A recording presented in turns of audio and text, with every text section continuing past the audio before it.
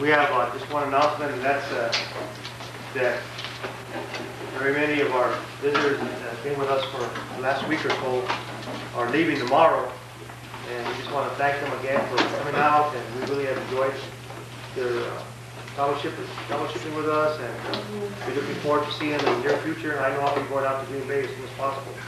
And, uh, And they are Dennis Volpe from Oceanside, California, Dean of Oceanside, uh, Rick Trivison, uh, he's the Dean of Syracuse, and his wife Peggy, and uh, David and Tina Williquette out of Green Bay, Wisconsin, he's the Dean of Green Bay, and uh, only one left to be Mr. White, Dean of, Dean of, uh.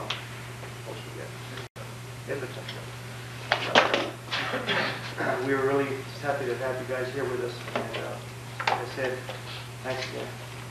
And uh, the first speaker that we're going to offer up tonight will be uh, the Dean of the Green Bay, Wisconsin class, Dr. David Williquette. I guess I should have laughs.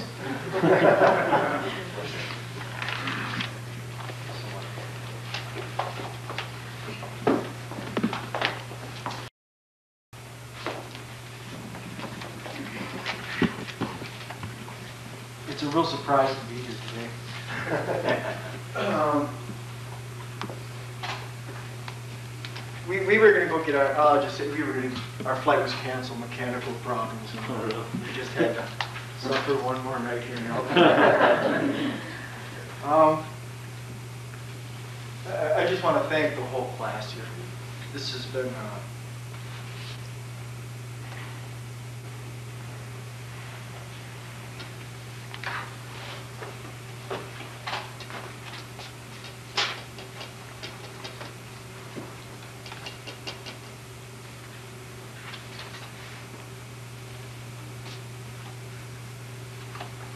Saying good.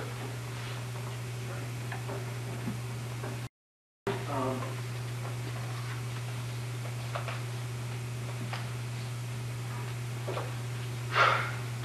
Give me just a minute. Um,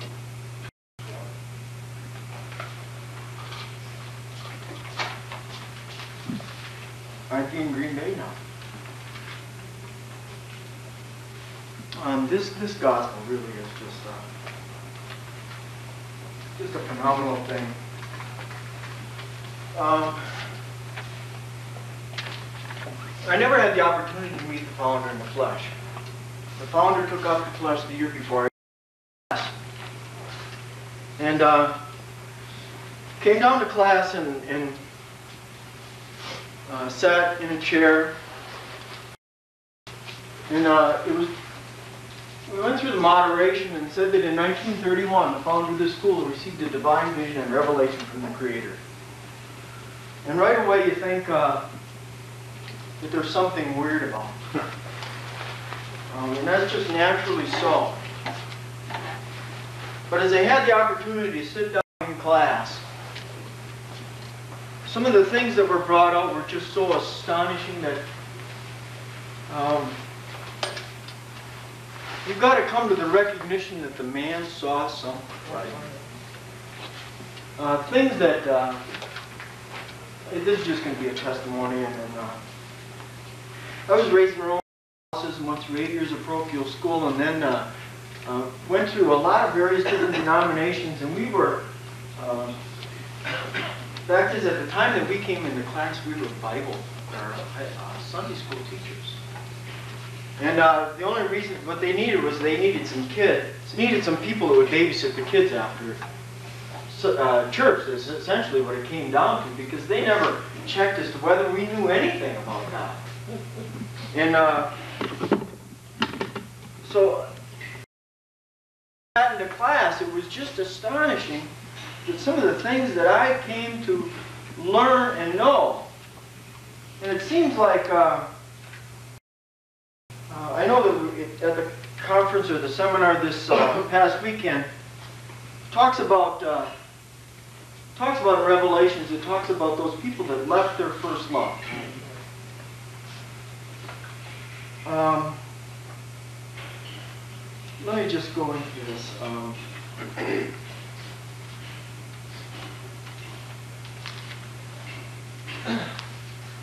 thing that we want people to know is that Yahweh is real. We wants you to know that He is real and that He actually exists. Um, go to uh, 5 and 39. Now, if you listen to the moderation, the moderation is up here and says that the name of the Messiah, both in and out of the body, is Yahshua. Now, the first thing that blew me away was that I saw that there was a relationship with the things that were written about back here with Moses and the Messiah during the time in which he walked around. I didn't know that. Through all the years that I had been growing up, I didn't know that Moses had any significance other than it was a recording of the history of some people with God. But I didn't know as to how that could point out the Messiah. Now, John, John 5 and 39. Would you read that, please? John 5, 39. Ye search the scriptures. Now, here's during the time period in which the Messiah, Yahshua, he was walking around with them. And he's talking to those people that were, that were of the, uh, they were Hebrews, and they would go into the Bible, and they would search those things out, and go ahead. Ye search the scriptures. In other words, they would look in the Bible. They would read the Torah. Go ahead and read. Ye search the scriptures, for in them ye think ye have eternal life. Now, they would, those people came to think that by reading those things and by studying those things, that they would have eternal life by reading those things. Go ahead and read. And they are they which testify. But now he talks about that those scriptures testify of him. Now, I used to, even when I first came into class, I thought that the law and the prophets were to point out Yahshua during the time period in which he walked around the Palestinian hills. That's what I thought it was for. And it is for that. And we go back down into the law and you see, we go back here with the children of Israel, back here while the time period of being in Egypt, and we look at the simple examples that they had to take the lamb out, the lamb had to be without spot and without, without blemish. And then we show you as to how Yahshua, he comes in and uh, John points him out, he's the lamb. And he stands before Pilate, and Pilate examines him, checks him over, he's like he's, he's checking out the lamb. And he comes out and he says, I find no fault with him. Confirming that there's no spot and blemish with this lamb here, so there's no spot and blemish with him here. They take that lamb out and they take those and they put those four points of blood around the door. He says, I'm the door, and puts four points of blood. See, he's the door. You got a point of blood in one hand, point of blood in the other hand, crown of thorns and at the base basin, four points of blood. These things pointing out the Messiah. This lamb could have no broken bones, so Yahshua, he's got no broken bones. And see, we work those things back and we identify him that he is the one that we're looking for. But now if you see, it, it's far more than that. It's far more than coming to recognize that this is the Savior that was during the time period from uh, zero until the time of 33 plus a little bit after the birth of the Messiah. It, it points him out more so than just, just during this time period. Because what we've got to come to recognize that this that was encouched within the body is the self same one that brought the thing, the creation, into existence. It's really trying to get you to understand that spirit that goes throughout the entire thing, in, it, in, in its entirety. The law of the prophets is to bring you to understand the nature of your Creator, to understand Yahshua, not just in a body, but also out of a body. Now, you look at uh, Romans 1, 19 and 20. Is there anybody new here? No, okay. Romans 1, 19 and 20 says that we can understand the physical things, or the spiritual things, by understanding the things that are made. In other words, we can look at the creation. Now, um, if I would ask, in this, this room, how many people in here know me? How many of you could raise your hand? To what degree? How many of you know me? Go ahead and raise your hand. Now, when I got on the floor, you said our first speaker, I mean, you, you, you've got a little longer term memory than that. You know, when we talk about short term memory. Some of you know that sat there and didn't raise your hand. Our first speaker will be David Williquette. And you saw David Williquette get up on the floor. So now you heard my name, but yet and still you're sitting in the chair and you wouldn't raise your hand. Because you know that there's more to David Williquette than just coming to hear a name expressed. That what that there's a there's a whole lot more to the story. Now, what we want to do is we want to come to know and understand Yahshua. Yahshua. And there's a whole lot more housed within that name than just hearing it. So you've got the assemblies of Yahweh. That's those. See, we, we had a, a, a assembly in Manitowoc, Wisconsin. Um, I don't know when was 1988. 1988. And we had uh, some men of an organization called the House of Yahweh, and they got their, their headquarters down in Abilene, Texas. And they came there, and they sat down, and they heard, uh, we get up, and for new people, we tell them about the names Yahweh, uh, Yahweh Elohim, and Yahshua. And they didn't have any problem with that. And they would go into the book, and they would validate the importance of a name using many of the various scriptures that we did. So they didn't have any problem with knowing that name. They knew it. You've got, uh, uh, there's an organization out there in Bethel, Pennsylvania. Um, Assembly of Yahweh. Assembly of Yahweh. They know. So in other words, there's what I'm trying to uh, get you to see is that there's a whole lot more to this name Yahshua than just understanding the configuration of these letters that, as you see up there. This name expresses something that Yahweh is salvation. It's expressing. See, a lot of people say, want to know the purpose. Got to know the purpose of Yahweh. Well, the purpose of Yahweh is all encompassed right within this. If you can understand this, you're understanding the purpose of Yahweh. Now, that name Yahshua says Yahweh is salvation. Now, some of you did raise your hand when I said, how many of you know me? Some of you did. My wife raised her hand. She was one of the first, first ones up there. Now, in order to come to know somebody, what I'm talking about is to understand the real person. It has to be expressed over a period of time. Like, how many of you have ever entered into, a relationship with a woman or a woman with a man, and you thought, oh, this is one that I, this is one, this is the one. And then after six months, uh-uh-uh. Because in other words, they have demonstrated something about that which goes beyond the veil of the flesh.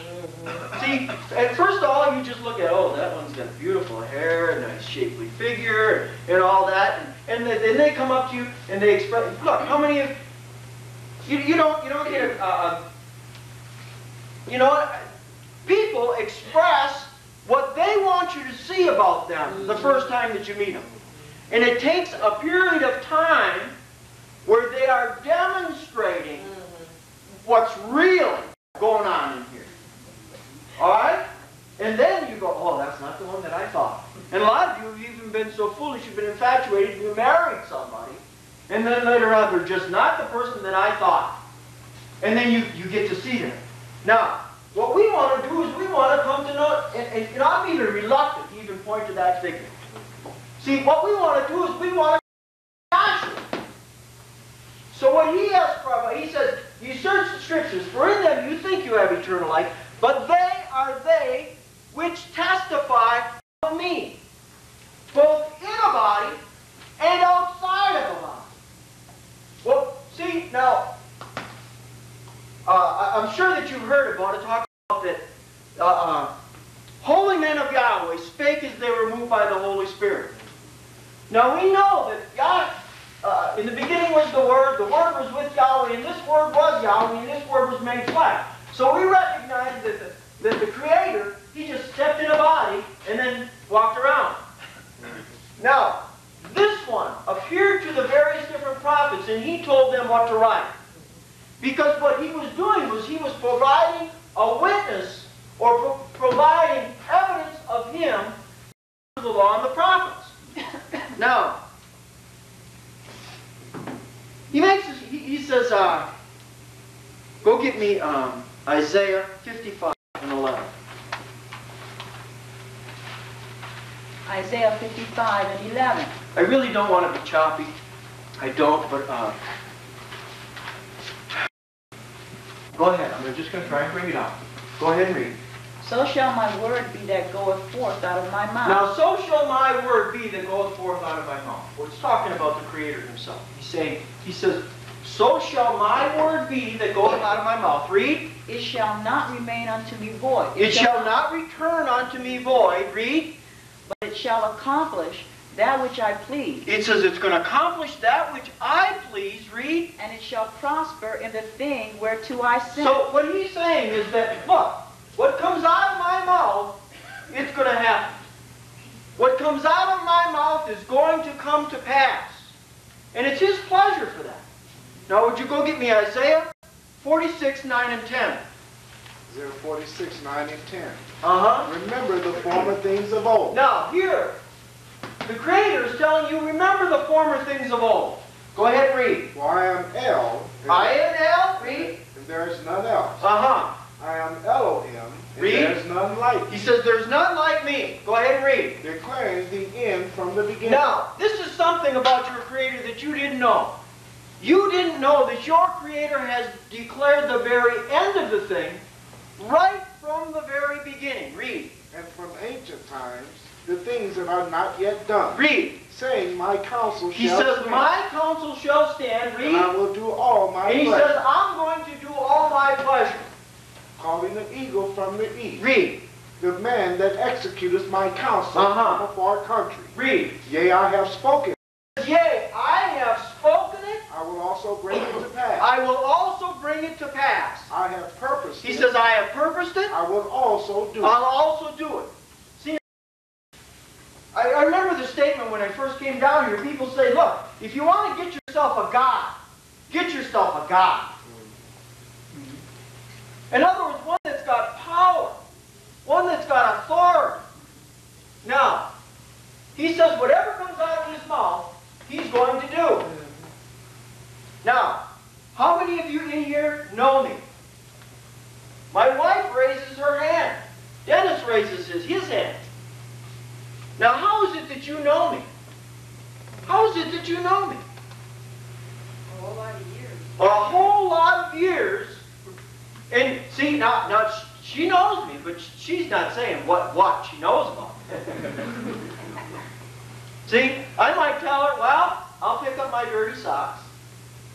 Now, she knows that I might have said it, but she knows that more than likely she's going to end up picking up the dirty socks.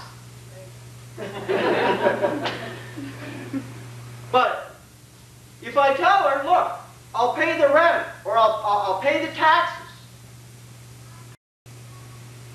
Do you go to bed at night worried as to whether or not I'm going to pay the taxes? Not at all. Not at all. I'll pay the lights.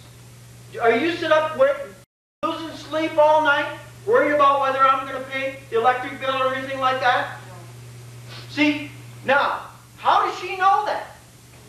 Because she has seen that which I declare demonstrated or brought to pass.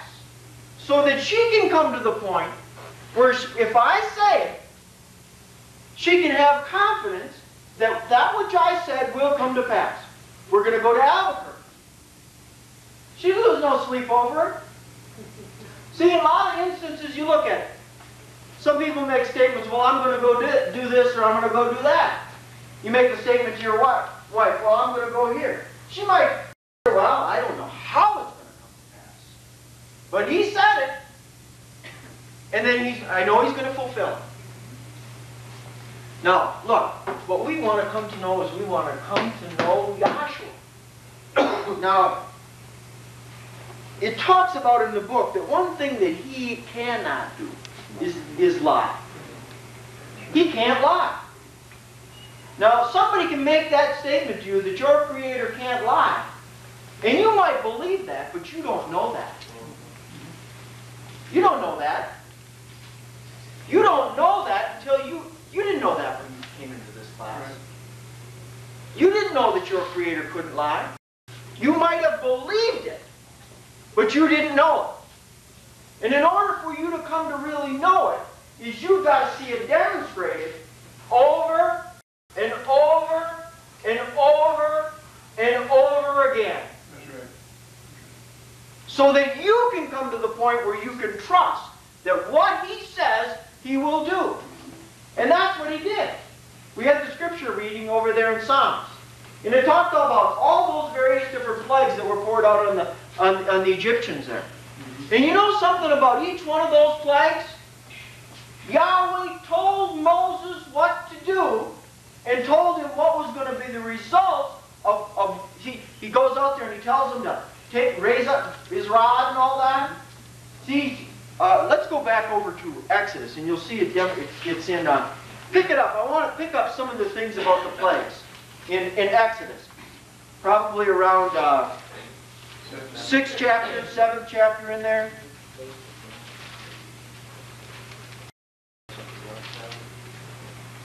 Just pick up any one of the plagues.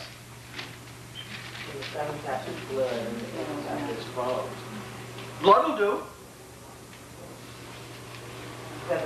Exodus seven and one. Again, seven nineteen. And Yahweh spake unto Moses. Now here, you've got Yahweh is speaking unto Moses and unto Aaron. Read. And Yahweh spake unto Moses, saying unto Aaron, Take thy rod, He says, Take thy rod, read, and stretch out thy hand and upon, stretch out thy hand, upon read, the waters of upon their streams, upon their rivers, upon their ponds, and upon all the pools of water, read, that they may become blood. that they may become blood. And that the- So what you've got here is you've got that something is coming out of his mouth. He tells them what to do, stretch out your rod upon the waters, that they may become blood. And then what happens? and that there may be blood throughout all the land of Egypt, both in vessels of wood and vessels Uh-huh. of stone. But the point is, then you read on down, and then he does that which Yahweh had told him to do, and then that which Yahweh had told him to do comes to pass. And you just read through all of them. You read through each and every one of them. He tells them about the frogs. Go, go ahead and pick up another one. Just pick up another one. Uh, eight and uh, one. And Mhm. Yahweh spake unto Moses, Now here Yahweh speaks unto Moses. going, going to Pharaoh and say unto him, Uh-huh. Thus saith Yahweh, let my people go, that they may serve me. Read. And if thou refuse to let them go, behold, I will smite all the borders with frogs. Now I'll smite all the borders with frogs. So here you got something coming out of his mouth. Before it happens, it's coming out. Read. Fourth verse. And the frogs shall come upon both thee. Now he says the frogs are going to come upon. Now did that which came out of his mouth come to pass? Right. All right? And then you pick up another one. You can, you can pick up all, each and every one of the different plagues. And you've got thus saith Yahweh. Says unto Moses. It's coming out of his mouth. And he has the ability, or he's got the power to fulfill whatever it is that comes out of his mouth. So by the time that it comes down there, you should be getting the clue that what he says, he has the power and the integrity to fulfill that which he says. I, I love the example. he- He's got children of Israel up here in, in Canaan's land. Before they come down here, you've got those those 70 souls. You've got you've got uh, uh, when he's talking with Abraham. Talking with Abraham. He tells them that they're going to go down here. And he told them that, they're going to come up out of there. When they come up, they're going to come out with great substance. Tells them hundreds of years before it even comes to pass. Then that which he has told them, they, they, it comes to pass. Sitting here at this burning bush with Moses, he says, Look, certainly I'll be with thee, and when you'll worship me at this mountain. So all the way down through, you see where the Creator speaks something, and then he fulfills that which he speaks. Those are the things. See, that's what the law and the prophets are for, folks. It's not just to point out Yahshua while he's walking around here in the Palestinian hills. It's not. But see, even when he's walking around here in the Palestinian hills, is trying to get you to understand something about Yahshua. We run. We run. Death, burial, resurrection. Death, burial, resurrection. Death, burial, resurrection. Death, burial, resurrection. Death, burial, resurrection. And we show you as to how that all points to Yahshua the Messiah. Now look at it. This is your creator. The beginning was the Word, the Word was with Yahweh, and this Word was made flesh. That's your creator standing there right in a body. Walking around. That's your creator. And you know, the thing, you've got them painted up on this chart, and this is far, far too great, or too good for to be painted here. This is, he was beaten beyond recognition. That's right. I mean, they beat him.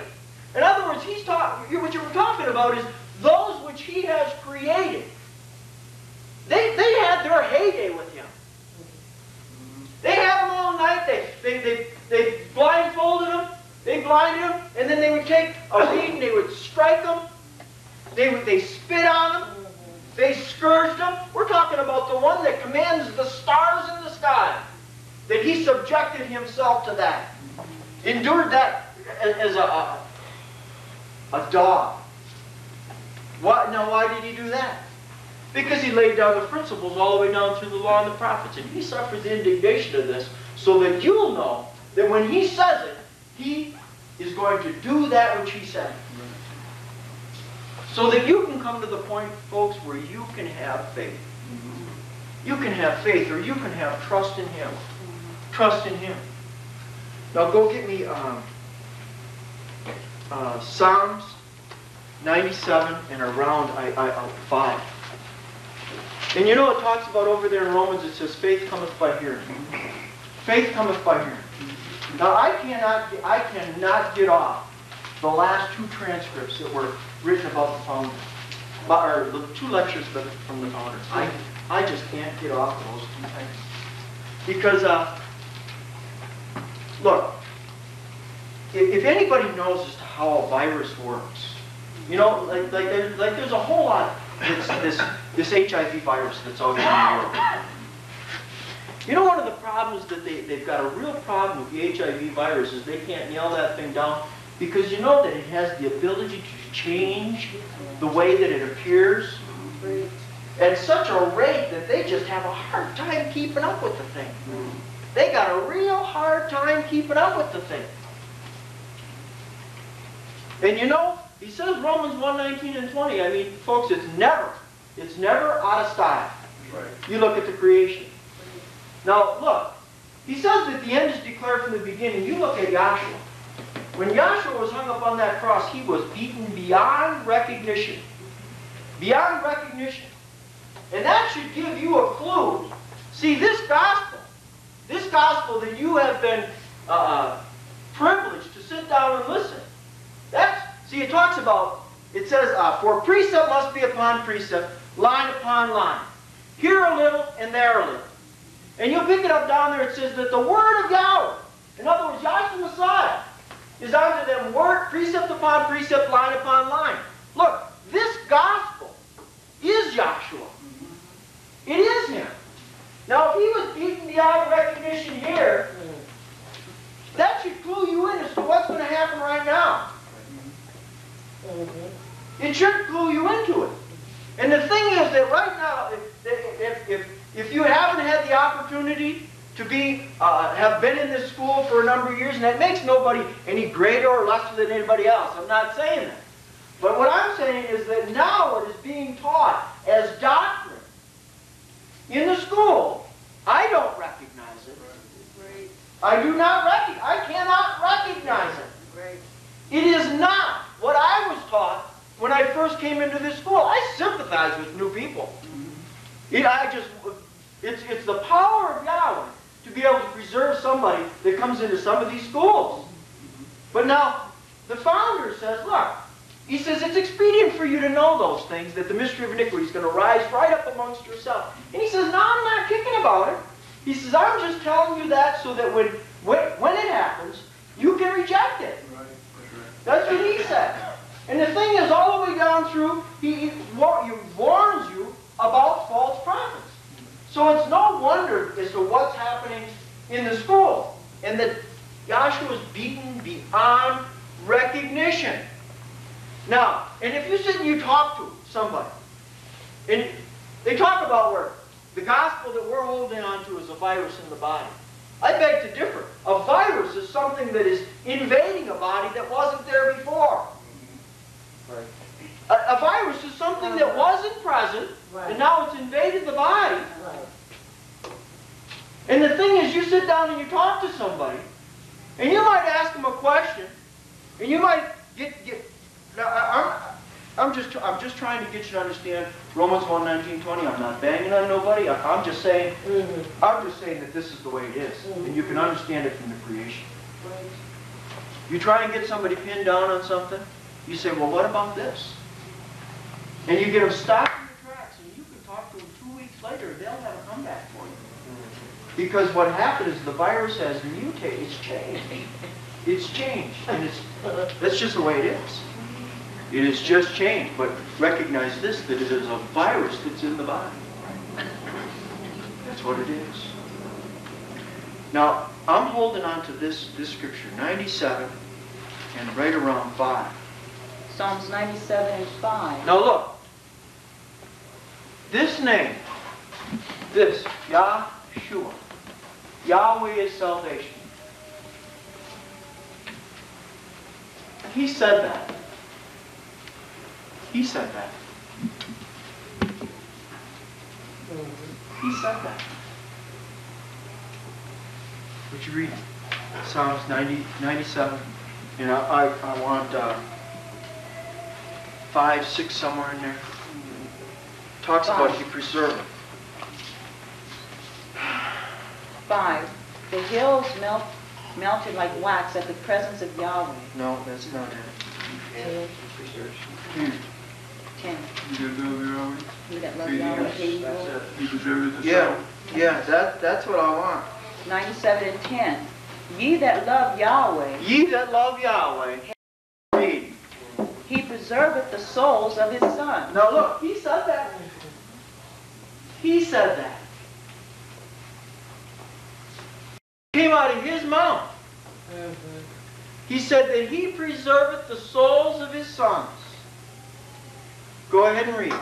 He delivereth them out of the hand of the wicked. He delivered them out of the hand of the wicked. And I was trying to work at the seminar as to how he created that mystery of iniquity so that he could give you over to him, so that he has somebody, he's created that adversary so that he can fulfill his very name.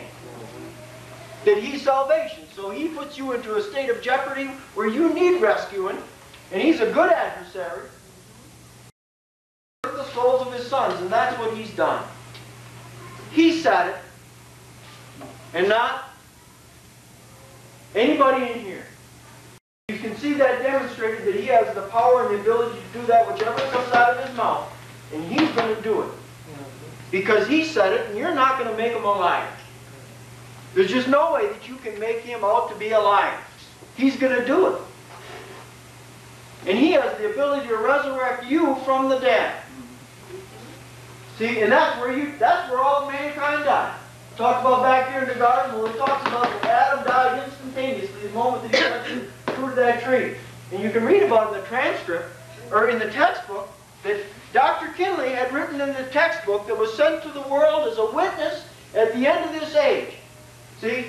That he said he died instantaneously in his conscience and soul, and that's where the man resurrected from the place where he, he fell. That he can has the power and the ability to resurrect you from the dead. The mystery of iniquity brings you into a state. See, see, look, that mystery of iniquity what causes your mind to be in its carnal, depraved state. And he was created to bring you into that condition. So that what? So that he can resurrect you from that state of condition. Now, Dr. Kinley says, look, don't let anybody tell you anything different than what I've told you. Now, he said that just before he took off the flash. He says, otherwise things might not be so well with you. He said that. And you look back at the principles all the way down through. You got here, you've got Adam and Eve were given a, commandment back here in the garden. Don't touch the fruit of the tree. And what they did, see, they allowed someone to tell them something different. And things weren't so well for them. That's right. Even everything that the founder says, you even got to check those things. What gives a man the authority? See, and we got to come to recognize who was that? Mm-hmm. We got the self same one that was incarnate and, and, and, and a man that was identified as Henry Clifford Kinley. That was him in a body. He says, don't let anybody tell you anything different than I told you, otherwise it won't be so well with you.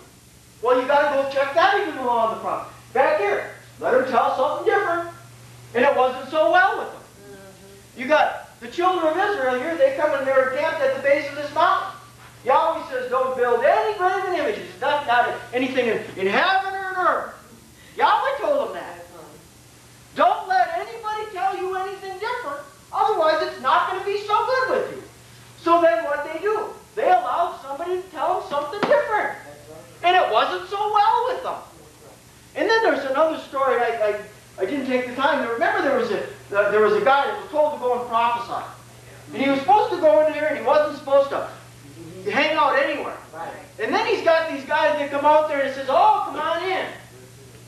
In other words, the Creator told them something, and they got into a situation where they allowed somebody to tell them something different, and it wasn't so well with them. So you can see as to how the, even the Creator, look, don't let anybody tell you anything different. Otherwise, it just might not be so well with you. And recognize this, that the mystery of iniquity is going to rise right up amongst the brethren, and the gospel or gospel Messiah is going to be beaten beyond recognition. Mm-hmm. Just recognize that. You can't think about, see, talk about we want to fix things, see a lot, you know, you sit, oh, there must be something we can do. Must be something that we can tell these people. No, there's nothing you can tell them. It's got to be that. He talks about that it's going to be the beginning of sorrows. But it says that he that endureth until the end, folks, there's going to be an enduring. And endure, it's not, a, not an easy thing. But you've got to hold to the things. The founder in those last ones, he says you ought to give the more earnest heed to the things that you have heard. Lest at any time you learn. Don't let them slip, folks. Don't let them slip. And you see the whole body going, see, for the most part, you see all these people. Oh, they've been around for so long. They must be right. They must be right. And you see them all. And I know that that Mr. Nick was playing on you, and, and, he, and he's getting you to question, gee, am I maybe missing something? Mm-hmm. Am I? Am I? Mm-hmm. But no. He said, you ought to give the more earnest heed to the things that you have heard. And then also, and then he goes about and he talks about Paul, or Paul, one who was elevated to the third heaven. He saw stuff that he couldn't even utter, that it was he couldn't even speak about. He saw something when he was given that vision, and then he talks about if there be anyone, even an angel from heaven, that delivers any other gospel, let it be anathema or as a curse. And Dr. Kinley quoted that thing. In, in, uh, see, December 3rd, December 21st, to me, they kind of blend together. But you check those, and he said those things. Now, I'm going to hold to the one who had the vision and delivered. That's what I'm going to hold to. I'm going to hang on to that. And, and look, I'm going to hang on to that with everything, and I don't care what anybody thinks. Don't matter. And you know that if you go out and you just take a stand for the truth, you'll be blacklisted. So, and, and, and after, it just does, it doesn't matter. But you, you recognize, folks, I got up in this floor, I was so choked up because the, the love that I felt at this conference, to me, is just, it, it goes beyond words. And I just want to thank everybody, the hospitality here, and uh, just, you're welcome to travel to Green Bay. We'd love to have you. And we'll roll out the red carpet, and uh, we'll teach the gospel as it's been presented uh, from the time that we came into class. And, and, if, and I hope you, like me, would say, hey, wake up if we ever stray off course so that we can hold each other's arms up and endure to the end of this age, folks. Hang, hang on to this thing and appreciate it.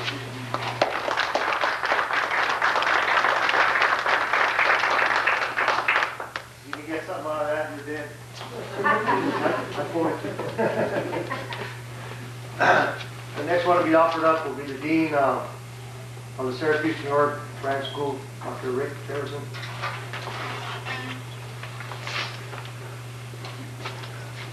Good evening, everyone. Good evening. Uh, I too want to very much thank the people here in Albuquerque for the job they've done. Um, I can say that because I've put seminars on. And I know how much work is involved in it. It's a lot of work and it's a lot of responsibility. You people went beyond the call of duty. Supplying food, driving people all over the place, back and forth, picking them up, taking them to the airport. It really was a great manifestation of love and, and just unselfishness. Is It's a lot of work. It's a burden. But it's a, it's a labor of love, you know? Mm-hmm. Folks, you know, my hat's off. It really is. And I can say that on behalf of all the folks that came from Syracuse. There was a bunch of them here, and I know they all enjoyed themselves. And I don't, I don't want to go home.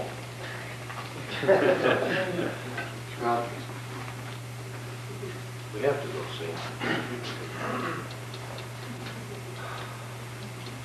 Can I please, I'd like to share some things with you. Mm-hmm. There are a lot of things on my mind, mm-hmm. of course, the last couple, three years, and kind of put a bunch of things together into one sort of a train of thought. I'm going to say it.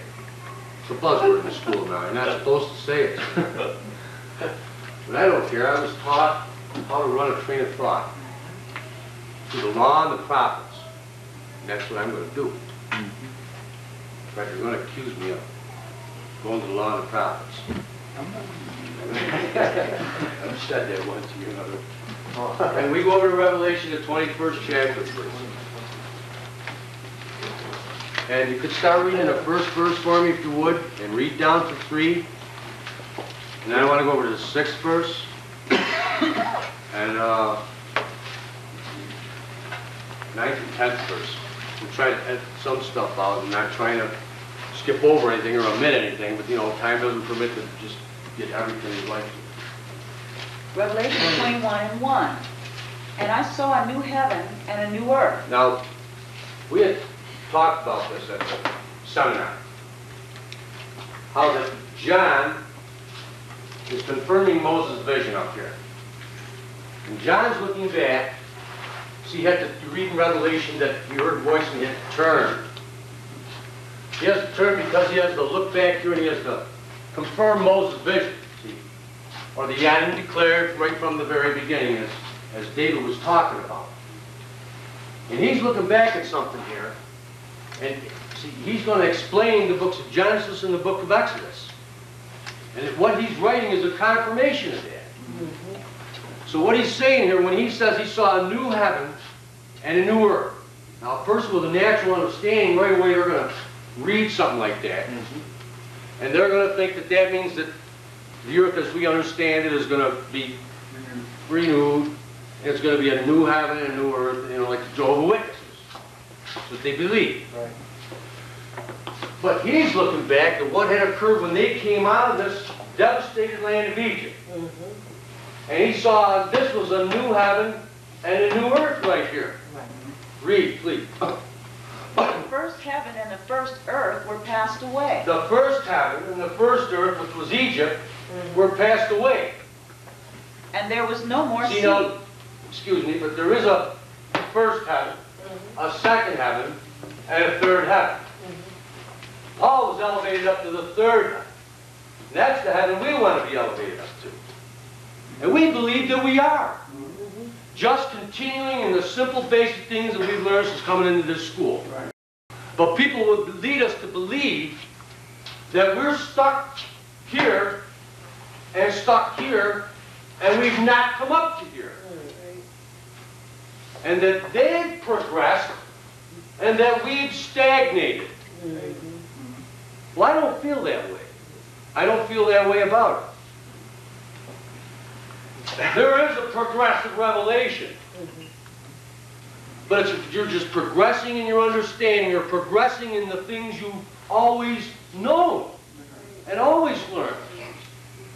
Hold that for me quickly. Just reference, I think it's over in First Timothy, first chapter, but continuing the things thou hast learned, third and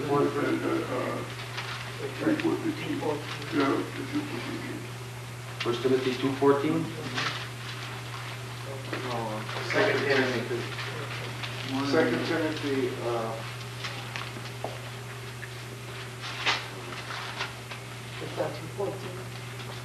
uh, yes, Oh, that's, uh, Timothy three, uh, three fourteen. fourteen. Second Timothy three fourteen. Okay. But continue, thirteen.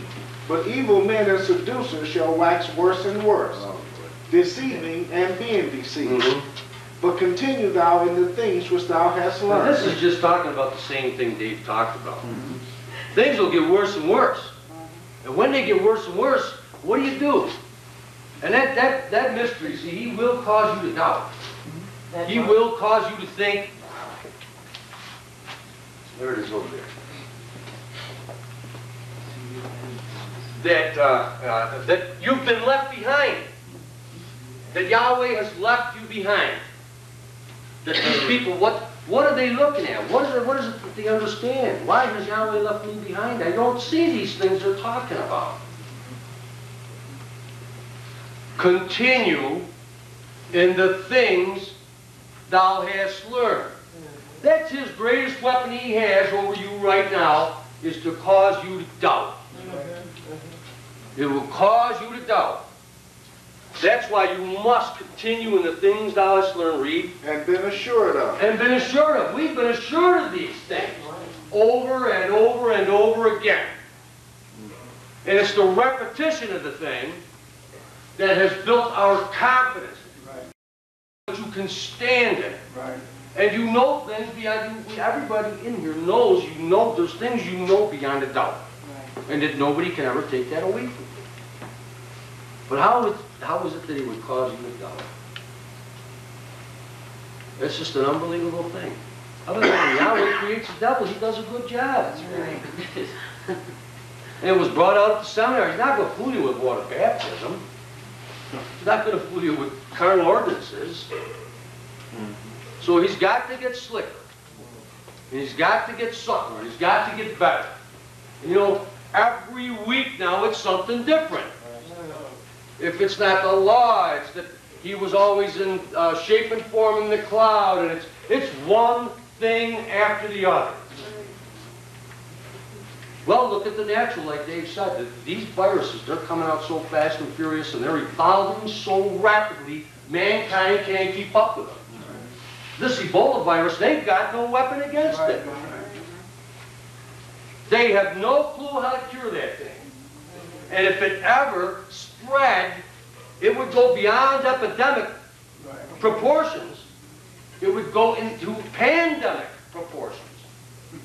Talking about wiping out vast populations. Here's a little virus, and all it is is a speck of information. It's not even alive. It's, just, it's smaller than a piece of dust. It's like a piece of dust. And man, with all his knowledge mm. And vast intelligence, doesn't know how to fight that speck of dust. And it just proliferates and it just, it, it evolves so quickly, you can't keep up with it. That's just like the mystery of iniquity. That's why it's one thing after the other coming down the road. Now, you just gotta keep fighting against it, fighting against it, and you get tired, you know? You get tired. That's why you have to come to things like this. It's a shot in the arm. It's a refreshing. It's a fortifying, you know, and then you can go back and do battle again. Read, please. But continue thou in the things which thou hast learned and been assured of, knowing of whom thou hast learned. Because we know who we learned it from. We didn't teach it to ourselves. There was no great teacher in the school that taught us. It was Yahshua, through the vision that Dr. Kinley had. And people, you know, a lot of people, they want to give Dr. Kinley the credit. Well, the credit doesn't belong with Dr. Kinley. The credit belongs with the Creator, Yahweh, that was in that man. And I've seen people get up and say, Dr. Kinley, Dr. Kinley, Dr. for a half an hour, never mention Yahweh, never mention Yahshua. And they say, well, I'm not looking at a man. Some of these people do look at a man. So when the man passed, there was a problem in the school. A lot of people left. That's right. So now they've got to find other men to follow. And then, you know, oh my. Let's go back to Revelation 21st chapter. When you follow a man, if the man goes wrong, you go wrong. That's just common sense. Read, please. Second verse. And I, John, saw the holy city, New Jerusalem, coming down from Yahweh out of heaven. That's coming down from Yahweh out of heaven. This is heaven. See? It's a, it's a pattern that breaks down and just breaks down. It's a pattern within a pattern within a pattern. You can look at it this way as the Korban about, holy place, most holy place. Mm-hmm. Now, the ones that are up here, this is the Korban about. Halfway up the mountain is the holy place, and the top of the mountain is the most holy place. And Moses was taken up into heaven and given that vision and revelation up there. Right. This book is nothing but a series and a compilation of visions and revelations. That's how he knows how to bring this thing down here and build this here. Go ahead and read. Prepared as a bride adorned for her husband. This, folks, is a bride. We talked about this, how she came up here and everything that Yahweh, you can read about it in the 19th chapter of Exodus, everything that Yahweh has said will and be obedient. She gave her wedding vow, and Yahweh was married to her, and he was her husband, and she was his people, and he provided. And she never went hungry, and their shoes never wore out. He was a good provider. See? But she played the That's why when he came down with the first set of stones, they got broken. Now that's to show you that she broke his heart. That was Yahweh's heart. Right or wrong? Right. He gave Moses that heart up there. He gave Israel his broken. And you know that down here in this uh, tabernacle, there's horns all, all throughout this. And one of the definitions of the word horn is cuckold. I'll write it down in case somebody doesn't know what it is. And see, I encourage you to go back and look the word up and see if we're presenting this properly. And a cuckold is a man whose wife has cheated on him. Everything about this tabernacle is pointing out Yahshua. So she cheats on him to the extent he, Moses has to go back up a second time. The second time he goes up, he takes his heart. Right or wrong? Right. Yahweh said, bring up a set. Bring up a heart like the first heart. This time he writes it in Moses' heart. He didn't throw the heart away. He didn't do that. He wrote it in his heart. Do you understand? A circumcision, we could run a line on circumcision. A circumcision of the heart, Yahweh's not ripping out the heart. He's circumcising the one you have. Cutting the garbage out. And you know, there's surgeons down in South America now who have totally changed the op- uh, heart operation. They're replacing now, you know how they have a heart transplant? They had a lot of problems with heart transplants. The immune system rejecting it, the body rejecting it, they had a lot of difficulty. So they, this is a surgeon down there, he came up with a new procedure where he would take part of the heart and cut it out. Because a lot of the time, the problem was the heart became too enlarged. So they would cut a section of the heart out and return the heart to its normal size. Right. And he said like a 98% success rate or something with, with his procedure, so that now surgeons from all over the world are going down to study this procedure. You follow what I'm saying? You know, they're not ripping the guy's heart out. Mm-hmm. They're circumcising the one he has. Mm-hmm. So go ahead and read, please. Third verse. And I heard a great voice out of heaven saying, Behold, the tabernacle of Yahweh is with men. You see, Paul, John rather is looking back here and he's seeing the tabernacle of Yahweh, is with men. It's with men. You in the third verse? You finished with the third verse? Uh, there's one more. All right, read six for me, please. Sixth verse. And he said unto me, It is done. I am the first and the last, the beginning and the end. I will give unto him that is athirst of the fountain of the water of life freely. I will give him who is athirst of the fountain of the water of life freely. What, what I want to discuss with you is water, fountains, rivers. Okay? I want to discuss living water with you. And I want to discuss dead water with you. Now read the ninth verse for me, please. Ninth verse. And there came unto me one of the seven angels which had the seven vials full of the seven last plagues, and talked with me, saying, Come hither, I will show thee the bride, the Lamb's wife. I will show you the bride, the Lamb's wife. Now, I've been told back in New York, there isn't any bride. The reality of it is there is no bride. That Yahshua is the bride, that there is no bride.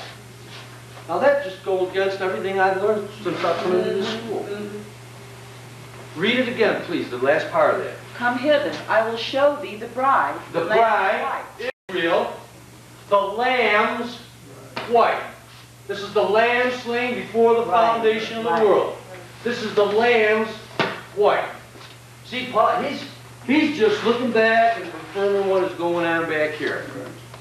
And you know, you understand that Dr. Dill did a tremendous job up there in the northern regional when he worked with that bride and how that bride had to be cleansed all the way down. And he just got he just got ostracized for bringing up basic, simple, beautiful truth. Read the tenth verse me, please. And he carried me away in the spirit to a great and high mountain, and showed me that great city, the holy Jerusalem, The holy Jerusalem, descending out of heaven from Yahweh, descending out of heaven from Yahweh. Read.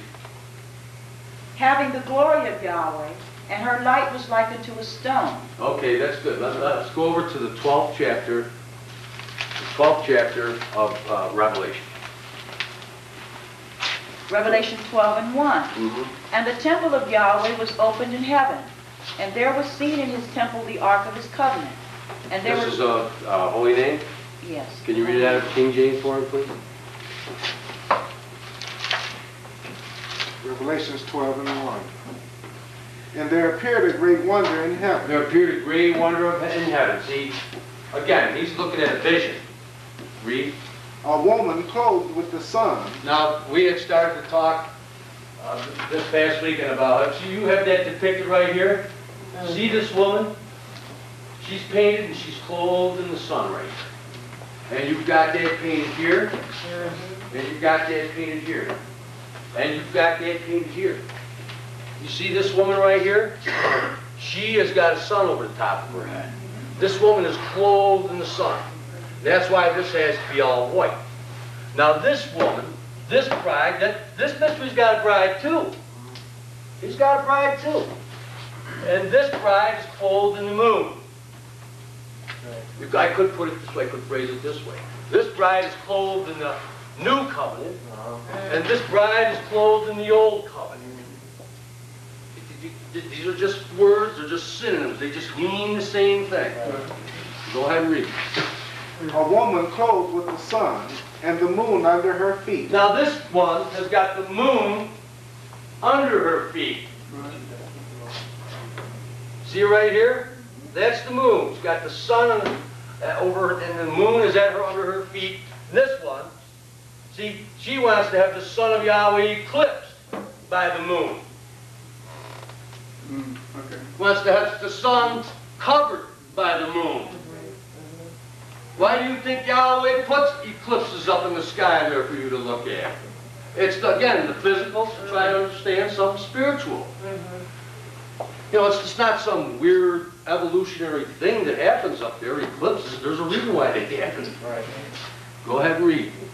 And upon her head a crown of 12 stars. Crown of 12 stars. That's Down not painted in there, but, below, down but below that. uh, Or you look at her, no, crown, look into the, uh, church there by your, show, that, that shows. I'll show it. And then there's the- Oh, See the crown there, okay. Sorry, go ahead, read. And she being with child cried, She's, see, she's with child and she's crying travailing in birth. because labor is difficult. Right. Labor is difficult, very difficult. And any woman that, that's gone through, you know how difficult and how painful it is. But the second that child is born, it's all been worthwhile. And it's just a beautiful thing, a beautiful feeling. See? Till the kid gets old enough to say, no. But it's the same thing spiritually.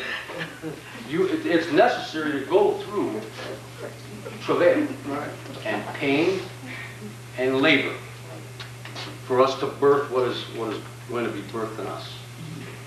Read, please. travailing in birth and pain to be delivered. And there appeared another wonder in heaven, Now, there's got to appear another wonder in heaven. God appear another wonder in heaven. Read. and behold, a great red dragon, See her up here?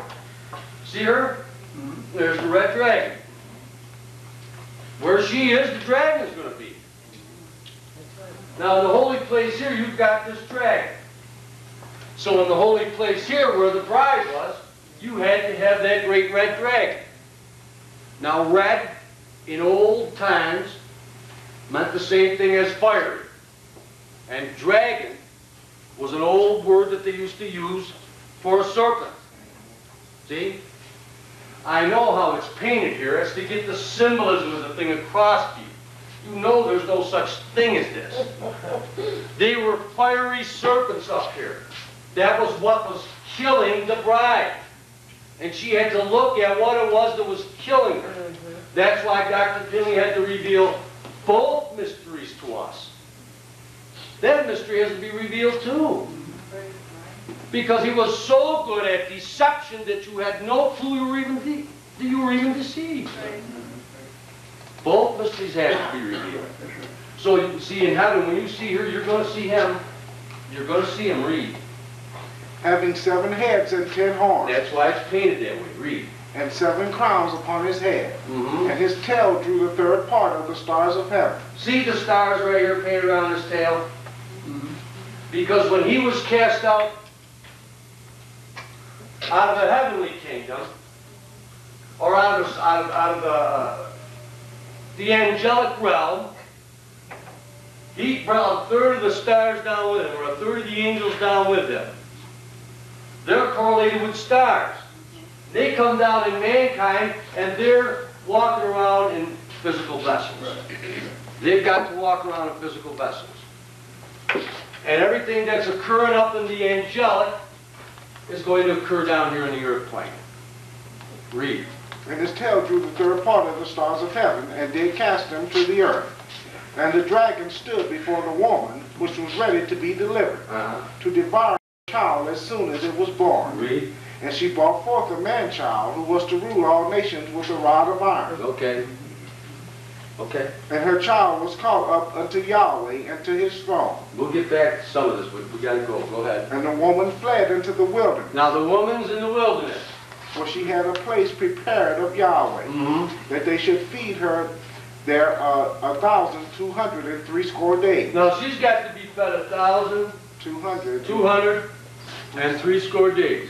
That's twelve hundred and sixty days. Mm-hmm. Now twelve hundred and sixty days, how many days are there in a Hebrew year?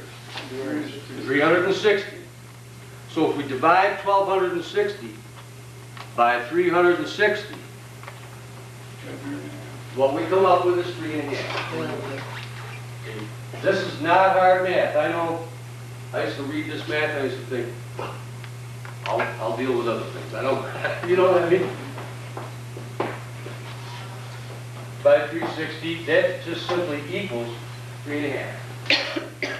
So the woman's got to be fat. Or in other words, the bride's got to walk around with Yahshua the Messiah. Half years, being fed. To fulfill the bride back here, being fed by Yahweh in the wilderness. He had 12 around him that constituted the bride. There were 12 around this tabernacle that constituted the bride of Yahweh. See, it's just that simple, back and forth. Now, they want to say there's no the- you're doing away with this, you're doing away with the apostle. You just, you don't have the liberty to go and do those kind of things. Go on ahead and read. And there was war in heaven. War in heaven. Michael and his angels fought against the dragon, and the dragon fought in his angels. So, see, he's just going back now. he's picking up kind of where we started here. Go ahead and read. and prevailed not, neither was their place found any more in heaven. Mhm. And the great dragon was cast out, that old serpent called the devil and Satan. See, the serpent or the dragon, Satan, the devil, it's all the same thing. Right. It's all the same thing. Now, I want you to know this, you probably already, probably already know a lot. But ever since that mystery of iniquity has been cast out of there, that's all he's done is try to get back in. Mm-hmm. He's always tried to just get back in, because see, he was top dog at one point in time back during that angelic. And those angels, they just looked around, there wasn't none that looked like him. Because Yahshua is walking around in that angelic creation that he created, looking just like any other angel. Well, how do I know that? Well, I know that because he walked around the Palestinian hills, and he looked just like any other man. No comeliness, nothing special about him. So when he's trying to tell them who he is, see, they got no clue. It- It's hidden from them. See, but when he, it was at the point where he had to reveal who he was. Right. Now, once he does that, a third of them say, we don't care, we're sticking with what we've been doing. Now, what have they done? Now they have gone and been willfully ignorant. Hmm. They were ignorant before. Now they're willfully ignorant. Now, to me, to my way of thinking, that's sin. Mm-hmm. That's a sin. Nobody can tell me that the angelic host that was ignorant is as guilty as the ones who were willfully ignorant. Because after they had the revolution of the truth, the revelation of the truth, they still turned from it. That's, that's a sin. You understand what I'm saying? So that's another thing that, that, uh, that I have a problem with. Go ahead and read, and continue to read here in Revelation. That, uh, called the devil and Satan, which deceiveth the whole world. Uh-huh, He was cast out into the earth, Uh-huh. and his angels were cast out with him. okay. And I heard a loud voice saying in heaven, Now is come salvation and strength. Now has come salvation and strength. See, Joshua, there at their Red Sea, Moses said, stand still and see the salvation of Yahweh. And it was strength that brought them up out of there. Said by the power, didn't it? By a mighty hand, by the power in his name. Go ahead and read. And the kingdom of our Elohim. The kingdom of our, he told them that they would be a kingdom of priests. That's why in the Lord's Prayer he says, Thy kingdom come, thy will be done. He's, he's fulfilling this back here in the wilderness. He's not instituting the Lord's Prayer. Right. Our Father, who art in heaven, hallowed be thy name. Yahweh is salvation, that's hallowed to him. That's holy to him. Thy kingdom come, thy will be done, on earth as it is in heaven. In heaven he showed them that pattern, build it on earth. Right? Right. Hallowed be thy name. Thy kingdom come, thy will be done on earth as it is. Give us this day our daily bread. And forgive us our trespasses. He gave them a way of escape. As we, see, everything's just a fulfillment. And if you don't know that when you're reading this book, you're going to come up with all kinds of stuff. Mm-hmm. Go ahead and read, please. And the power of his Messiah. For the accuser of our brethren is cast down, The accuser of our brethren is cast down. was to accuse them before our Elohim day and night. Read. And they overcame him by the blood of the Lamb. They overcame Pharaoh and his host down here by the blood of the Lamb. Didn't he just get up and show how there was four points of blood on that door? That was from the Lamb. That was, do you understand? That spared the firstborn, or they overcame Pharaoh, in other words, or the mystery of iniquity by the blood of the Lamb. That's what allowed them to pass over from death into life. Read, please. by the word of their testimony. Uh-huh. And they loved not their lives unto death. Read. Therefore rejoice ye heavens, and ye that dwell in them. Woe to the inhabitants of the earth and of the sea, for the devil is come down unto you, Okay. having great wrath, mm-hmm. because he knoweth that he hath but a short time. Mhm. And when the dragon saw that he was cast into the earth, he persecuted the woman He persecuted this woman. which hath brought forth the man-child. All right, read. And to the woman, and to the woman were given two wings of a great eagle. Thing's an eagle here. Mm-hmm. See Asher here? Mm-hmm. See the eagle? There's an eagle, you know there was an eagle, there was an ox, there was a lion, there was a man. See? Go ahead and read. that she might fly into the wilderness, Uh-huh. into her place, where she where she is nourished for a time, and, time, And time, and half a and time. half the time. From So the now in this verse, he's just going back to corroborating what was in the sixth verse. Right. Because the time is one, times is two, and half a time, you understand? That's three and a half. Right. She's nursed for three and a half. Go ahead and read.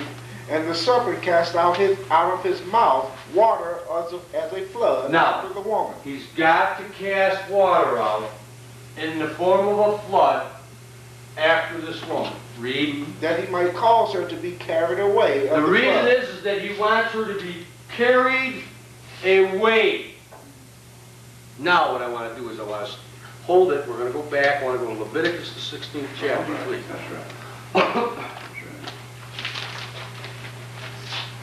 16 and 1. Mm-hmm. And I can't take credit for any of these things. These- These are a result of, of uh, lectures I've listened to and, and other people and a bunch of stuff, you know, just Somebody get it. a whole bunch of people contributed to this. Well, Yahshua contributed. That's right. That's right.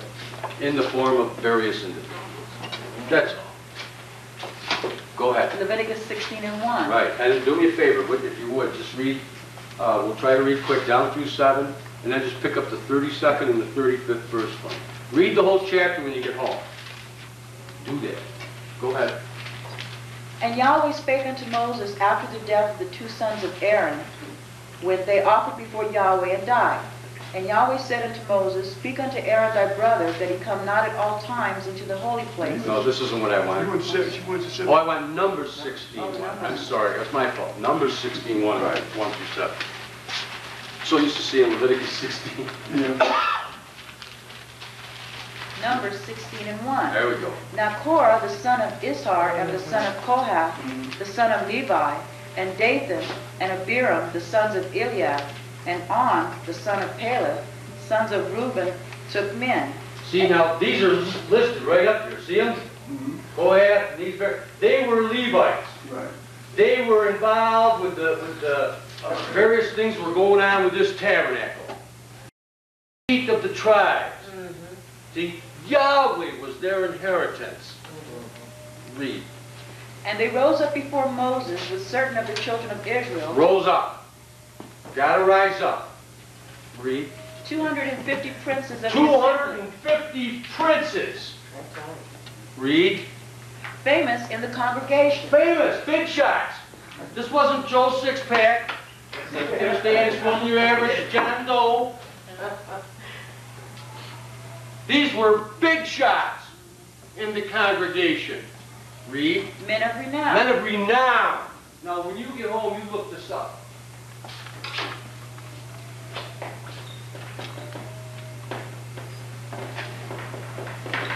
It's going to bring you back to rumor. And there shall be wars and rumors of wars over there in the 24th chapter of Matthew. Wars and rumors of war. That whole 24th chapter of Matthew and that 13th chapter of Mark, you are living now. Right. You are living now. So you're going to deal with men of renown, and you're going to deal with wars, and you're going to deal with rumors of wars. We're not talking about physical wars, not talking about machine guns and tanks, but it's spiritual battles. That's right. See? In high places. Uh-huh. High places. Read. And they gathered themselves together against Moses and against Aaron. They gathered themselves against Moses and against Aaron. Now you can read back in the book of Exodus that he told Moses to go up, see, when he told him to go down into Egypt, he said he was going to send him up in front of Pharaoh. And he said, you shall be as an Elohim to me. Right. You go back and you check the word Elohim in that context, where it's read there in that law, you're gonna find that one of the definitions is magistrate. Magistrate is a judge, folks. Or in other words, Moses is going down here to face Pharaoh representing the law. And Aaron represents the prophets. He overcame them down here by the law and the prophets, and by the blood of the Lamb, as represented by the law and by the prophets. So what you've got to do now is you've got to have the mystery of iniquity rise up against the law and against the prophets. That's right. And I've seen it happen big time. Maybe you haven't seen it here in your class. And people, when you want to confront them, they want to deny it. But we're not doing that. But I'm telling you, there are people in this school teaching that the law and the prophets are important to bring you under the Messiah. But once the Messiah is in you, then the witness is in you, and you no longer need the law and the prophets. That's junk. Don't be carried away by that flood. See, the mystery of iniquity is going to be overcome by the law and by the prophets. And I understand that's not the reality, and I understand it's to bring you under the Messiah. But he didn't come to destroy the law and the prophets. Right, He came to fulfill them. right. And that means bring them into reality. Go ahead and read for me, please. And they gathered themselves together against Moses Uh-huh. and against Aaron, and said unto them, Ye take too much upon you. Oh, but how come you get to do this? How come you get to do that? You understand the way that... Go ahead and read. Seeing all the congregation are holy, Hey, we're all, we're all the same. Read. every one of them, and Yahweh is among them. Wherefore then lift ye up yourselves among the congregation of Yahweh. And when Moses heard it, he fell upon his face. He fell upon his face. And he spake unto Korah and unto all his company, saying, Even tomorrow Yahweh will show you, show who are his and who is holy, Who's his? Go ahead and read. and will cause him to come near unto him, even him whom he hath chosen will he cause to come near unto him. This do, take you censers, Korah and all his company, Take your censers. Take your censers. What were the censers, folks? They were the things that what? Held the incense, right? Now the incense, how many ingredients were in the incense? Four. Four main ingredients, right? Stacte, onycha, galbanum, and frankincense, if I remember correctly. Right. All right, that's a holy savor, or a sweet, sweet-smelling savor unto Yahweh. Because you know that in reality it correlates to the four letters in his name, Y-H-W-H. Yud, He, Wav, He. Right? You understand? Yud, He, Wav, He. D-R, oh, oh, wrong, wait, Y-H-W-H. Four main ingredients in the air that you breathe. Four main ingredients in the air that you breathe. This correlates, this correlates with your lungs. There's four main ingredients in the air that you breathe, and that is a sweet smelling savor to your physical body. Because without it, oxygen or spirit can't be carried to every cell in your body. See that? But now, see, ultimately that points to the four main ingredients in the gospel. And that's death, and it's burial, and it's resurrection, and it's ascension. You understand that? Again, it's tied, and what, what, where do you get that from? But from the law and the prophets. And he, and he fulfilling that. But now he wants every one of these priests to bring their censers. So he got 250 guys against Moses and Aaron, and they got ingredients in their censers. Do you understand? Read. and put fire therein, and Put put, fire therein, because this was, see, there was fire involved on this altar. Go ahead and read. and put incense in them before Yahweh tomorrow. Mhm. And it shall be that the man whom Yahweh doth chose, he shall be holy. Ye take too much upon you, ye sons of Levi. You take too much upon yourselves. Read. 32, 32nd? Yep. Oh, 32 and 35. 32. Because now what we're going to do, you read through the chapter, and what I want to do is just kind of show you the conclusion. Now, although I know a lot of you know this, go ahead and read. And the earth opened her mouth, The earth opened her. See, in other words, there was a contest between the law and the prophets and their idea of what the gospel is. What was in their censers? their gospel. Which obviously they wanted to be different from Moses and Aaron. They're, they're in opposition to Moses and Aaron. So there's a contest to see, make a long story short, this is what's going to happen. Read. And the earth opened her mouth The earth opened her mouth. Read. and swallowed them up, Swallowed them up. and their houses, And their houses. and all the men that appertained unto. Everything that they, you understand? Mm-hmm. Everything that pertained to them. Mm-hmm. Read. and all their goods. They're good. Read. 35. And there came out a fire from Yahweh, and consumed the 250 men that offered incense. Consumed them. Read. Uh, That was 35. There's 35. Okay, now go back to Revelation, the 12th chapter where we left off. Revelations 12, 15. Uh, did, you might want to repeat 14. Okay? 14. And the woman were given, and to the woman were given two wings of a great eagle, that she might fly into the wilderness into Mhm. her place, Okay. where she is nourished for a time, and times, and half a time from the face of the serpent. And the serpent cast out his mouth, out of his mouth water as a flood. Do you see with this? And the serpent's casting forth the flood out of his mouth back here. The serpent, folks, was the people that went up against Moses and Aaron. Right, And the flood was false doctrine. right. And the purpose of it was to carry the woman away from what? From the law and the prophets, from the truth, from the true gospel, from the original gospel, that you're supposed to continue from the day you were a baby, because you know who taught it to you. Don't let that carry you away. See? Now we'll hold there, and I want to go to Exodus 15th chapter, 27th verse. And you can pick up Numbers, the 33rd chapter, and the 9th verse. Exodus 15, 27. Okay, now we're see, what I want to basically do now is want to just run some law and run some prophets, and we're going to deal with water. We're going to deal with water, we're dealing with rivers, we're dealing with floods. See, folks, you look at this dispensation and ages chart. At the end of this age, this antediluvian age, there was a flood. At the end of this post-diluvian age, there was a flood. There was the outpouring of the Holy Spirit. Right or wrong? That's right. That's right. Now you've got another flood down here. You've got the restoration of carnal ordinances. See, that's just that, I'm sorry. That, that's just that mystery of iniquity again, spewing forth the flood, trying to carry that woman away, or Yahshua's bride, away from the law and the prophets. By, see, restoring. This says restore. That means that they were in place at one time.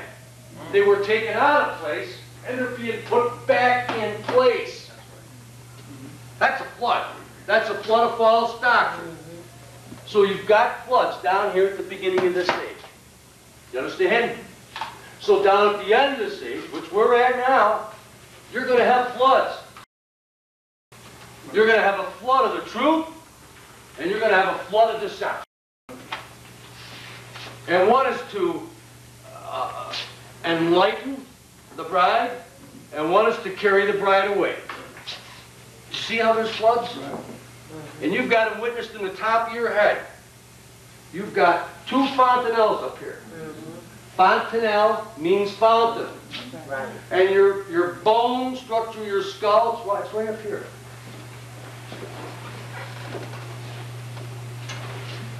Fontanelles, that's a fountain.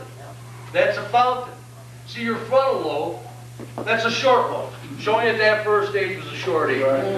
That second, or the parietal, see, that sagittal, that just means line, the line, that fissure in your skull, because these are all originally, uh, your skull's soft. Right. This was brought out the other night on the floor, because that baby's head has to be malleable, so they can push through the surface. you understand, when it's birthed. But in time, those skull, those bones have to fuse together and become hard. And the juncture at which they meet are called fontanelles. Now that means fountain. This second one is a long one, because that second age was 2,377 years. That was a long age. And he- yet the, the Fowler's trying to show us that if the end is declared for the beginning, then this is gonna be a short age. It's gonna get cut short. So this is a short low. But folks, they're separated by fountains or by floods. See, it's witnessed right in your physical body. Mm-hmm. Your creator don't miss a trick.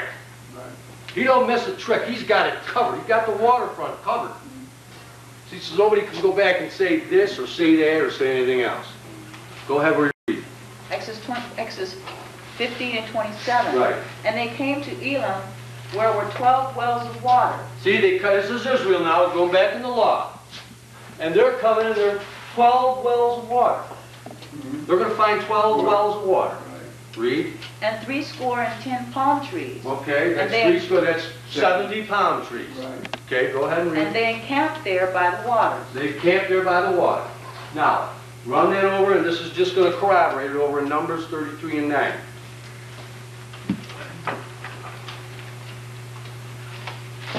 See, when I, when I first came to this school, and I, I would, I came into this school kicking and screaming.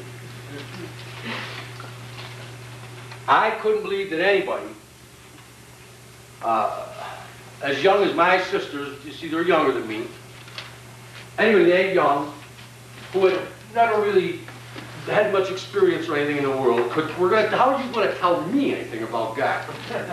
I've been to college, I've been in the army, I've been overseas, what do you, what do you tell me? Mm. You know, if I don't know, you certainly don't know. Four years I fought before I come down here kicking and screaming, see? And just had to sit there and admit, I was home.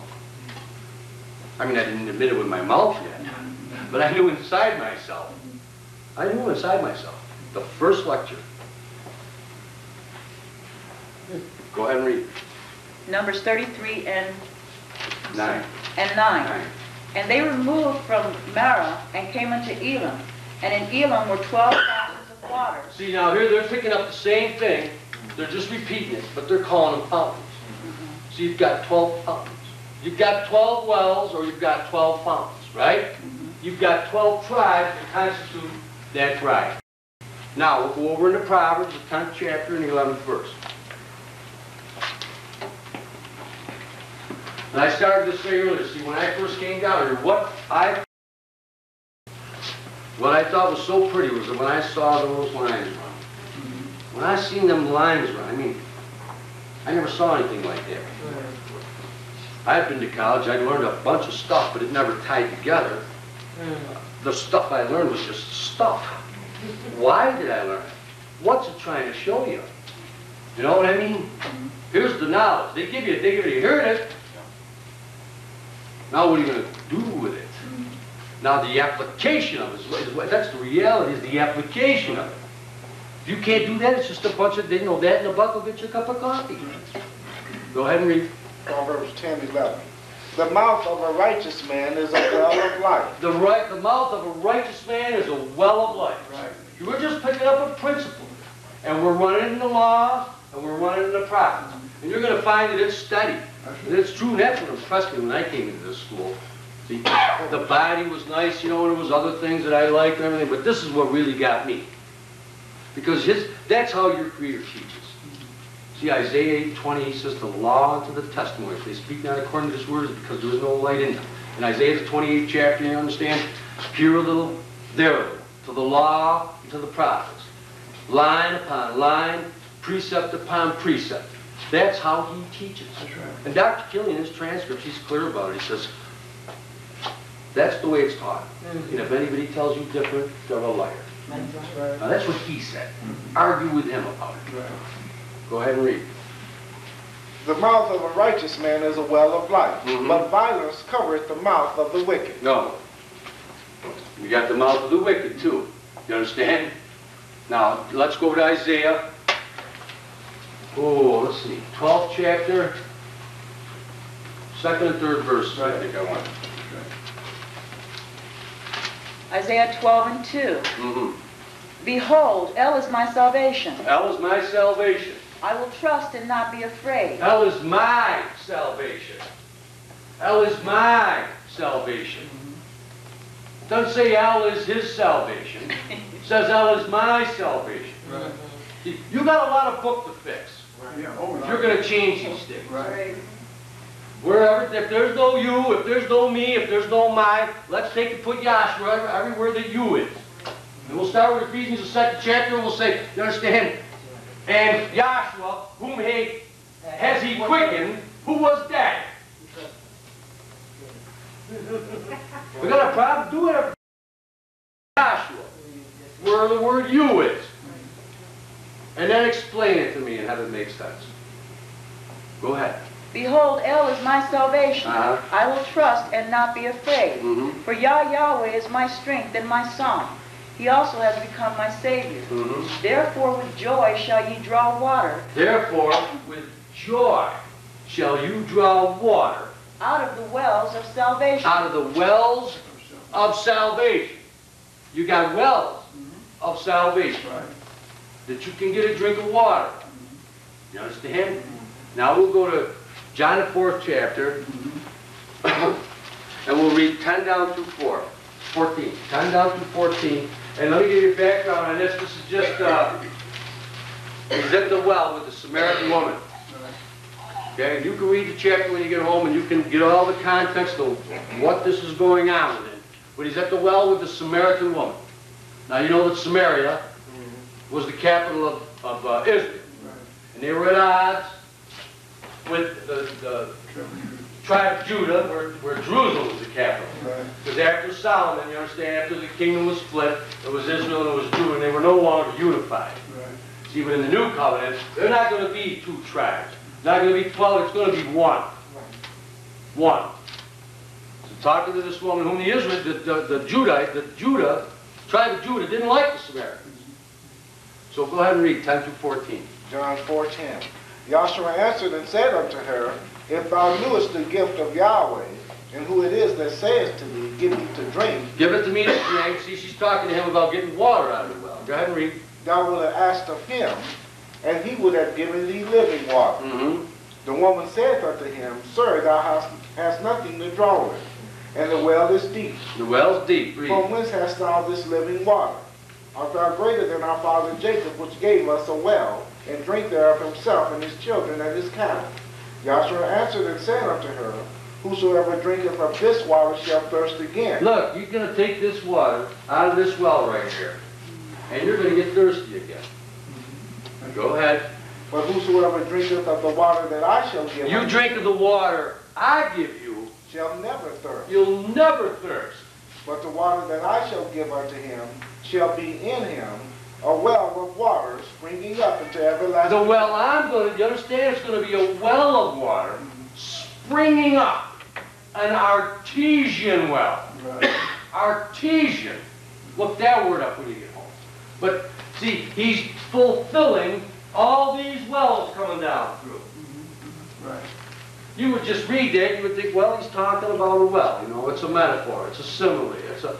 No, he's fulfilling all these wells coming on down through. Do you understand? Now get John 7 and 38 for you. Number 38. He that believeth on me, He that believeth on me, as the scripture has said, no, it doesn't matter about the scriptures. Read it again, you must have made a mistake, that's a mistransliteration. He that believeth on me, as the scripture, No, it's a mistake. as the scripture has said, that's what it says in there, see? You argue with the book. He who believes on me as the law and as the prophets. Because when Yahshua makes this statement, Matthew, Mark, Luke, John hadn't been written. John hadn't written the book of Revelation. Paul hadn't sent his letters out. He's talking about the law and the prophets. Right. And the way you're going to have to believe on him is through the law and through the prophets. And anybody that's trying to teach you anything, coming out of anything other than that way, no life in them. No life. It's dead water. It's stagnant. You know what stagnant water is? It's not running water. It's not, you understand? It's not living water. Read. he that believeth on me, as the scripture has said, Out of his belly shall flow rivers of living water. Out of his belly shall flow rivers of living water. You know you've got bellies up here. You've got four ventricles up in your most holy place. Ventricle means belly. And out of that one of those ventricles, you understand, your cerebral spinal fluid is produced. And it goes forth out of there, and the purpose of it is to cushion and to cleanse the neural material. And it is the clearest, crystallest, it's not a word, I made it up, water on the face of the earth. It's crystal clear, it's pure, and it's in your physical body to witness to spiritual water that's going to come forth out of this belly. And that's coming forth, folks, out of a well, an artesian well. You can just draw from that well. Now, when he walks around with his apostles, he's setting them up. He's teaching them. That's the bride. That's the bride now. She's being fed for the space of three and a half years. And he's putting that knowledge in. You understand? He's putting it in. And then on the day of Pentecost, they're all up in that upper room, and they're filled with the Holy Spirit. Or in other words, that nature that was in him Right. is put in them. Right. That nature is put right in them. And when that nature is put in them, didn't he say, you drink of this water, you'll never thirst? Didn't he say it was a wellspring of life? This is the water of life. When that's put in them, they become wells of salvation.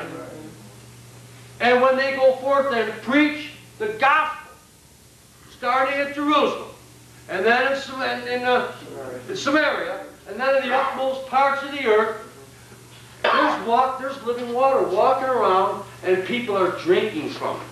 People are drinking of it. And you're sitting, see, in this class in Albuquerque, and you're drinking the water of life. Right. You're drawing from a well of salvation. Wells of salvation. Do you understand? And you can't get the water anywhere else. That's right. You just can't get that water anywhere else. That's right. Now I'd like to go back to the book of Jeremiah. Uh, second chapter, I think it's the 12th verse.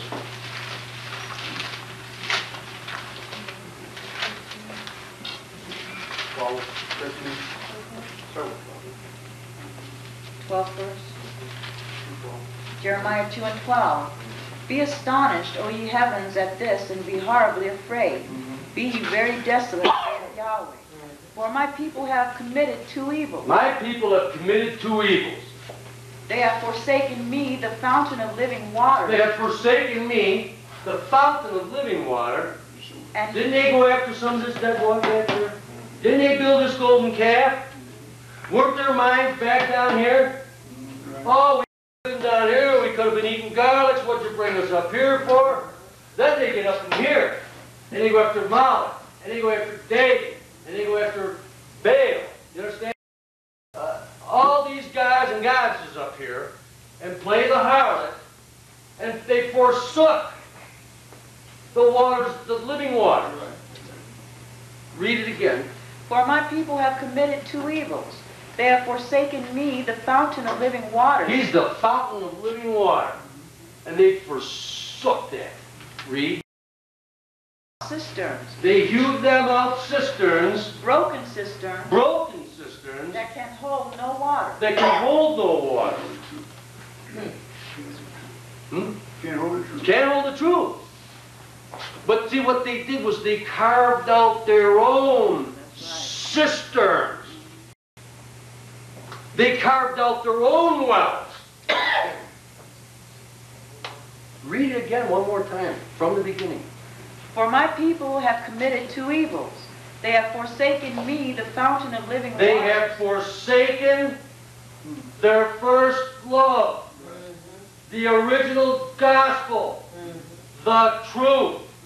They've forsaken that water and hewn themselves out their own cisterns. They're drinking from their own cistern. I'm not naming names, I'm not pointing a finger at anybody. I'm not gonna be that stupid. But it's going on in the school that you need to be aware. You need to be aware of what is living water and what is dead water. And there's a way to know for yourself what to drink and what not to drink. You understand that? They've hewn out their own wells, their own cisterns, and they're broken, they just can't hold them. Water just runs through. Okay, please, Second Peter. No, wait a minute, what is it? Is it Second Peter? Second Peter. Uh, two, You want, these are wells without water? yes, I want two, uh, first and second verse, and then I want seven through 10. I think, those- I think it's It's Second Peter 2 and 17. Okay, but read, read the first and second verse for me, okay? And then read uh, 17 through 20, please. Second Peter 2 and 1. But there were false prophets also among the people, There were false prophets also among the people. In other words, I want to pick this up, see, that there were false prophets among the people. Folks, there have been false prophets all the way down through the story. There have been false prophets all the way down through. See? You got a flood back, here, you had a good flood back here, and you had a bad flood back here. Now that earth opened up back here and swallowed this flood. Go ahead and read. even as there shall be false teachers among you. There's going to be false teachers among us. Now, if there wasn't false teachers among us, the book would be wrong. The book would be wrong. Well, does that make me feel any better about it? No. No. People all through this week, they've been saying to me, I feel sorry for you, you got a tough situation back there, you know, and, uh, you know, it is, it's hard. But I had to come to grips, well, do you, do you feel sorry for yourself? Was I feeling sorry for myself, or was I feeling for the people that are getting pulled into this? You know, and I had to be honest and, and ask myself that question. Uh, You just cry, uh, feeling sorry for yourself because of the situation you're in, because it, it's tough. It's tough for every one of us. Or you feel sorry for these babes that you see they don't have enough foundation and they get carried away. And people that've been around for years, you thought help teach you your foundation. Get carried away. So never really had one. They could not have had one. Right, that's right. Where you sit, you're blessed. He allowed you to have that foundation that won't be shaken.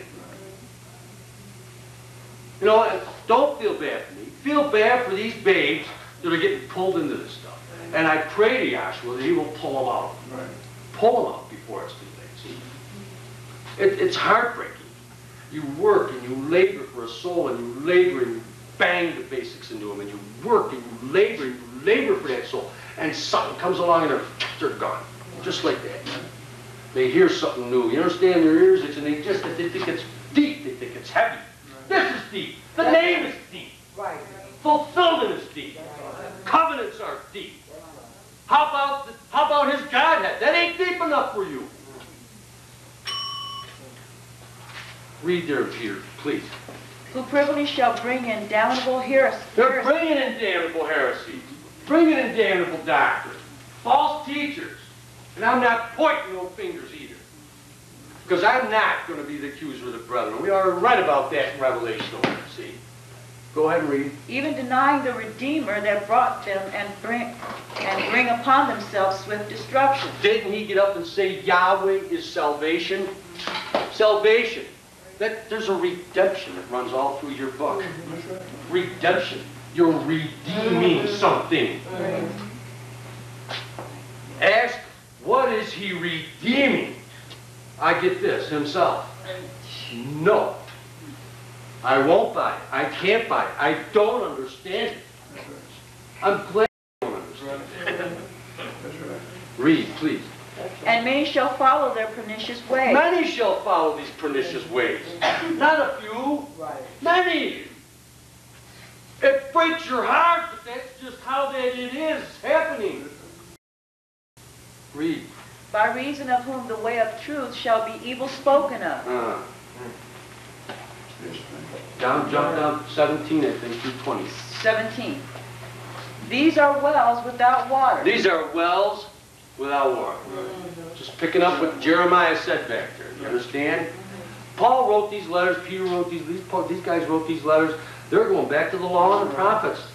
They're going back there all the time. Every time you see Paul say something, you see how he's going back to the law and the prophets. And when you see that, you understand what Paul's saying. The world's struggling with Paul's writings because they don't see how he's going back to the law and the prophets. And you can interpret his letters a million different ways if you don't base them on the law and the prophets. That's the trouble, you understand? Read, please. Clouds that are carried with tempest. Clouds just can't read. To whom the mist of darkness is is reserved forever. Mm-hmm. For when they speak great swelling words of vanity, they allure through the lusts of the flesh, through much wantonness. Those that were clean escape from them who live in error. They were clean escaped. See, and going back. Clean escaped and going back to it. Did you read 220? 19. While they promise them liberty, they themselves are the servants of corruption. Look, this new covenant is supposed to give me liberty. Right. Don't put me back under no rules. Right. My book reads that where, Yah, where Yahshua is, there is liberty. Right. Give me liberty. You understand? Right. Somebody wants to promise me liberty and put me back under rules and regulations. That's not liberty. Right. Read. For of whom a man is overcome, of the same is he brought into bondage. Mm-hmm. For if after they have escaped the pollutions of the world through the knowledge of the Redeemer and Savior Yahshua the Messiah, they are again entangled therein and overcome, the latter end is worse with them than the beginning. Folks, there's wells in both mysteries. There's water in both mysteries. There's dead water, there's living water. Understand that dead water it doesn't have signs all over it with skulls and crossbones saying stay away poison. That's not how it is. It tastes good. It sounds good. It looks like living water. That's how that mystery operates. You see, you just got to come to class. You got to learn all you can learn because the more you learn, the better you're able to discern mm-hmm. between good water and bad water. And I would just encourage you and, and Hank to stay in there and just fight the fight and uh, thank you for everything you've done for us in the time we've been. I've thoroughly enjoyed myself. Don't want to go. home. Maybe the blood plane problems. I don't know. Thank you for everything you've done. I really appreciate it.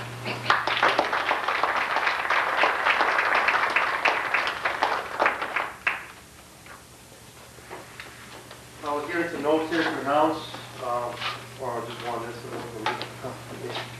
this, we had a business meeting, uh, scheduled for this coming Sunday, and, uh, I don't know who gave it to me, but it's canceled. So it'll be the following Sunday, Right. for everything. And committees at what time? Four, five? Okay, the time will be announced, but it's being canceled from this Sunday to the following Sunday, at the committees. And, uh, we hope and trust that uh, you enjoyed today's lectures. And uh, we have classes here at Thomas Down Wednesday and Fridays from 7 to 9 p.m. and our Sundays from 11 a.m. to 1 p.m. And uh, thanks again for the visitors. Let us all stand and be dismissed for the reading of the doxology. We're taken to the last verse in the book of Jude. Now to him that is able to keep you from falling and present you faultless before the presence of his glory with exceeding joy. To the only wise Elohim, our Savior, to Yahshua, the Messiah, our Sovereign, long glory, majesty, dominion, and power, both before all time, now and ever. Let us all say, Amen.